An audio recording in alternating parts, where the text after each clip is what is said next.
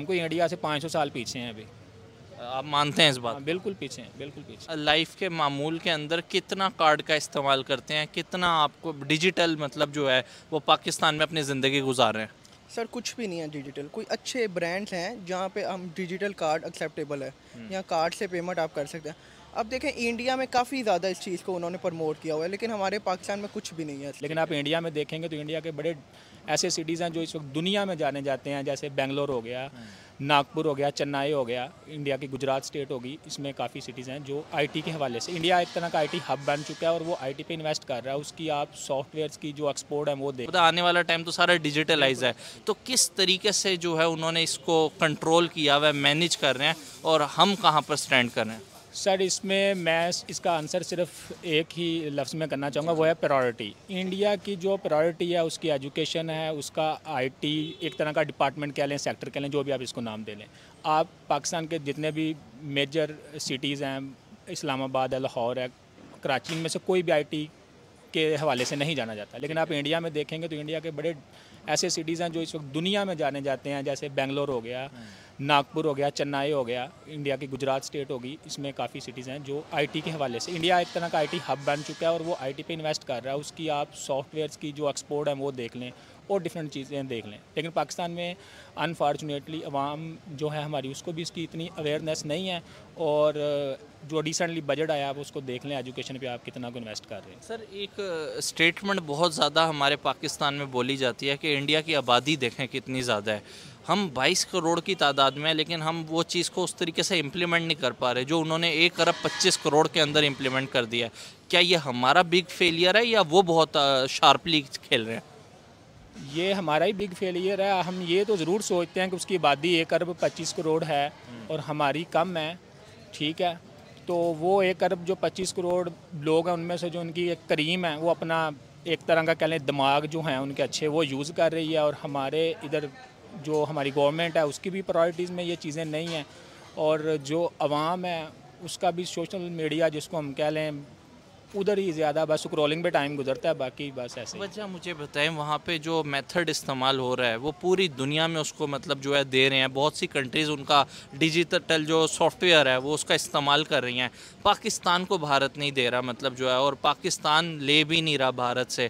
हम क्यों, हम, एक तो चेंज नहीं हम एक्सेप्ट करते, दूसरा हम कहते हैं, हम जिस हाल में हम खुश हैं, जैसे भी ज़िंदगी गुजर रही है, क्या ये प्रियोरिटी ठीक है, क्या ये सोच ठीक है, या चेंज लाना बहुत ज़रूरी है?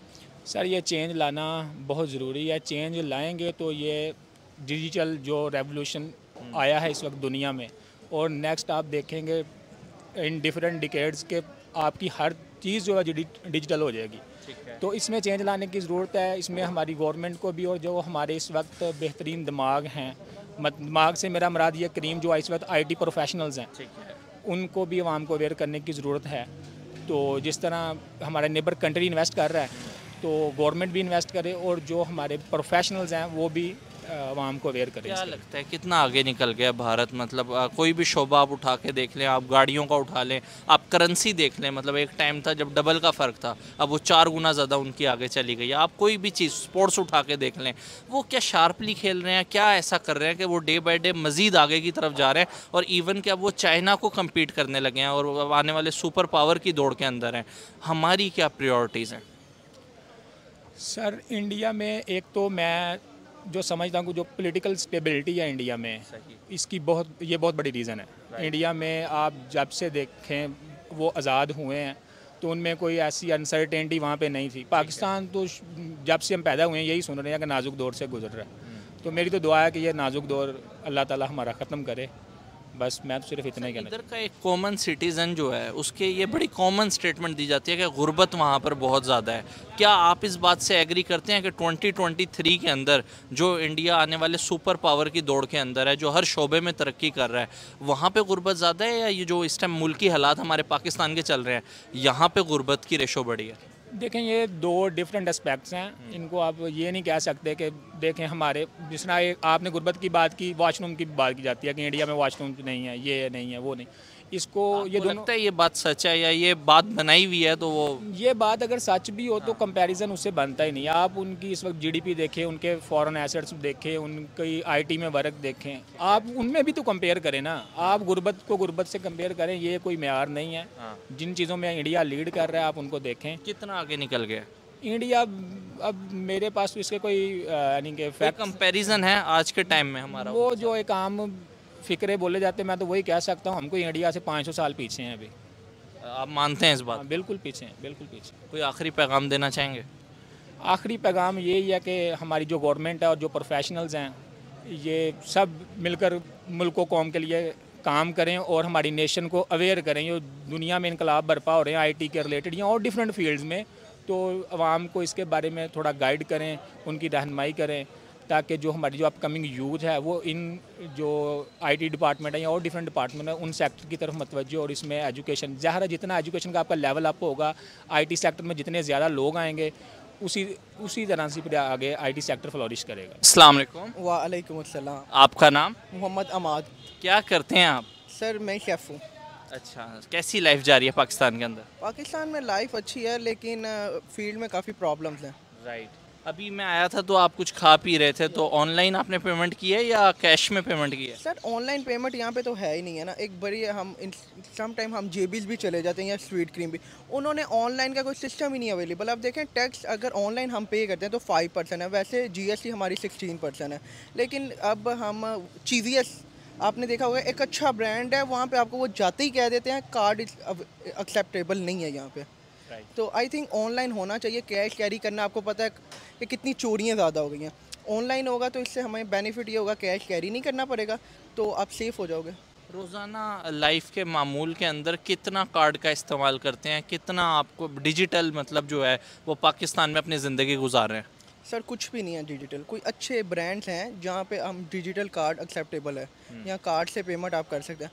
अब देखें इंडिया में काफ़ी ज़्यादा इस चीज़ को उन्होंने प्रमोट किया हुआ है लेकिन हमारे पाकिस्तान में कुछ भी नहीं है ऐसा। आपको पता है पूरी दुनिया की इस टाइम सबसे ज़्यादा जो डिजिटल ट्रांजेक्शन है वो कौन सी कंट्री है जो कर रहा है? इंडिया कैसा लगता है? अच्छा है उनका ये काफ़ी अच्छा हमसे वो काफ़ी आगे हैं इस मामले। मतलब हम हर बात में कोई यूरोप का ज़िक्र करते हैं। हम इधर उधर अब इंडिया का ज़िक्र करने लगे हैं हम हर चीज़ के अंदर। कैसा लगता है कि हमारा साथ का जो कंट्री हमारे साथ आज़ाद हुआ था आज हर शोबे में ही कहाँ चला गया है? डिजिटल ट्रांजेक्शन में आप देख लें फोर्टी सिक्स परसेंट जो है पूरे वर्ल्ड की ट्रांजेक्शन वो भारत में हो रही हैं। ऐसे ही है सर हमारे पाकिस्तान में अब देखें मैंने यहाँ से एक चाय पी है लेकिन यहाँ पे मैं ऑनलाइन नहीं कर सकते इन्हें पेमेंट यहाँ पे हम कैश पे करेंगे इन्हें। तो ये हम काफ़ी ज़्यादा पीछे हमारी हमें ये चाहिए कि कोई ना कोई ऐसी ऐप इंट्रोड्यूस हो जो एक स्कैनर हर एक एक रेडी वाला भी है उससे भी मिलना चाहिए ताकि हम वहाँ पे जाएँ स्कैन करें उससे पेमेंट चले जाए। लेकिन यहाँ पे ऐसा कुछ भी नहीं है। जैस कैश इस हवाले में थोड़ा सा इन हुआ था लेकिन अब देखें उसका ऑनलाइन हम पे करें तो उसी टाइम अकाउंट में चले जाता है। अगर हम सिम से पे करें तो मेरा ख्याल है थर्टी मिनट का वो भी टाइम लेता है ट्रांसफ़र करने का। तो ये मेरे ख्याल से नहीं होना चाहिए। आप यकीन करें, अभी पिछले दिनों वहाँ पे मेरे एक कुलीग हैं, उन्होंने तस्वीर भेजी जो फेरी वाला है, जो सब्ज़ी बेच रहा है, जो चीज़ें वगैरह एक रेडी के ऊपर सेल कर रहा है, उसने भी ऑनलाइन का वो लगाया हुआ है कि आप उसको स्कैन करें और वहीं पर पे कर दें। इतना डिजिटलाइज मतलब इतने निचले लेवल तक मतलब जो है वो डिजिटलाइज कर चुके हैं इसको। सर, ऐसे ही मैं कह रहा हूँ, कोई ऐप ऐसी इंट्रोड्यूस हमारी गवर्नमेंट को चाहिए करे, जो हर एक रेरी वाला एक छोटा जिसने स्मॉल बिज़नेस भी किया है, उसके पास भी मिनिमम वो ऐप होनी चाहिए कि हम उन्हें ऑनलाइन पे करते हैं लेकिन मेरे नहीं ख्याल पाकिस्तान में जो हुकूमत का हाल है, ये आगे पाँच से दस साल में कुछ ऐसा कर सकती है। क्या लगता क्या है कि उन्होंने क्या ऐसी पॉलिसी इसको अडॉप्ट किया कि वो आज इतना आगे निकल गया कि पूरी दुनिया में जो है, उन्हें सराहा जा रहा है, माना जा रहा है, और अब वो टॉप पर रैंक कर रहे हैं बहुत सी चीज़ों में? सर उन्होंने अपनी डिजिटल को काफ़ी ज़्यादा प्रमोट किया कि हमारे पाकिस्तान में ये चीज़ नहीं है इसे प्रमोट नहीं किया जा रहा। ठीक है। मेरे ख्याल से इसे प्रमोट करना चाहिए हमें। हमें यूथ को बेसिकली आगे होकर प्रमोट करना चाहिए। अगर कोई नहीं ऑनलाइन पे कर रहा हमें उसे कहना चाहिए यार मिनिमम आप ऑनलाइन पे करो कैश कैरी करना इज़ नॉट